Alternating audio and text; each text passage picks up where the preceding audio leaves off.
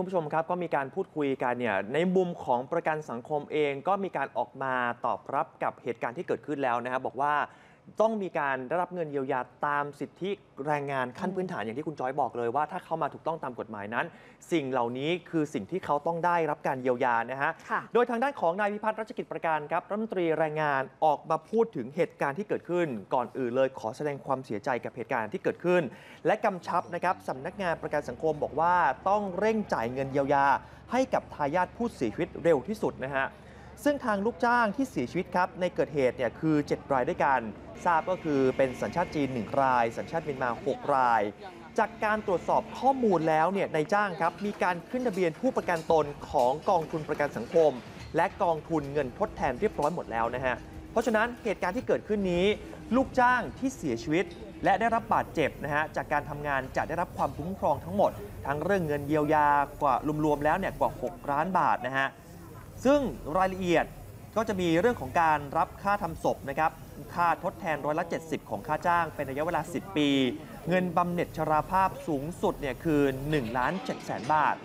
และในจำนวนนี้ครับยังไม่ได้รวมนะฮะกับเงินเยียวยาที่มีการตกลงกับนายจ้างกับทางโรงงานเนี่ย1ล้าน6แสนบาท และทางรัฐมนตรีครับก็ได้มีการกำชับด้วยนะฮะเรื่องของมาตรฐานความปลอดภัยเป็นสิ่งที่สำคัญ ทีนี้ในมุมของอุบัติเหตุที่มันเกิดขึ้นเนี่ย มันเกิดจากอะไรกันแน่ สาเหตุหลักๆ มันเกิดจากอะไร ทางด้านของนายวัชรินทร์นะครับนายกวิศวกรรมสถานแห่งประเทศไทยออกมาบอกครับบอกว่าจากการลงพื้นที่ตรวจสอบจุดเกิดเหตุเนี่ยพบว่าเป็นการสร้างหอสูงหรือว่า tower crane ขึ้นมา ก็มีการสันนิษฐานในเบื้องต้นนะครับบอกว่าช่วงเกิดเหตุนั้น น่าจะอยู่ในขั้นตอนของการก่อเครนตัวขึ้นมาก่อก่อเครนขึ้นมา ส่วนจุดผิดพลาดที่นำมาสู่อุบัติเหตุครั้งนี้เนี่ย